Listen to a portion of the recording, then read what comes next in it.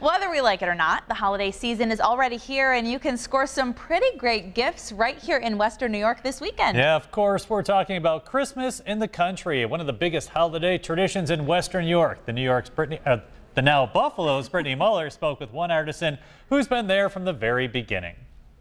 33 years from the beginning. Belle Dole has been a part of the Western New York tradition Christmas in the Country at the Hamburg Fairgrounds since it began in 1984. Hi, how are you?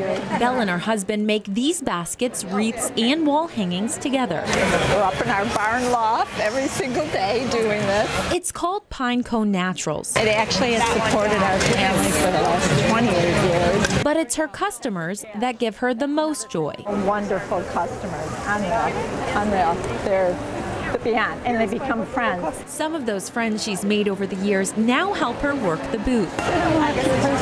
It's one of the 400 booths at this holiday hotspot. This year, there are 40 new booths at the Holiday Artisan Market, and 60,000 people are expected to attend. One thing we always have to have is peanut butter pretzels. Marlene Lamka says this is part of a tradition with her friends. They have been coming here for at least 15 years. Just being together and mm -hmm. laughing and mm -hmm. enjoying the day. Just spending the day together. Yeah. Plan a vacation day way ahead of time.